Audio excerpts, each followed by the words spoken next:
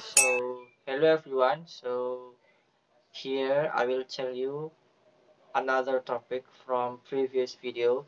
So, in this topic, I want uh, tell you about one of tourism destination in Bali. It's one of mountain volcano in Bali. Okay. It's Mount Batur. If you want to know more about Mount Batur, you can follow this video until end and give dislike and comment in the comment section.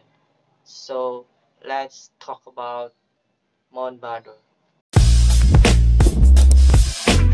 So Mount Batur is one of active volcano in Bali and its last eruption was recorded in 2000. For your information, uh, Mount Batur is considered by Balinese people is the second important mountain after Mount Agung because the temple Pura Ulundanu is therefore of great importance uh, to the local people. Most visitors come to Mount Batur because the spectacular view of the sunrise and the inner crater.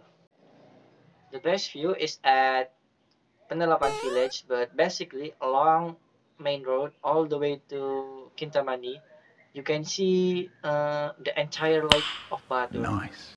Penelapan village is popular step over.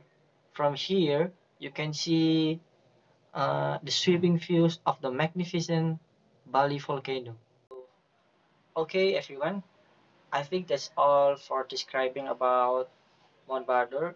If you want to visit Mount you can visit after the pandemic ended.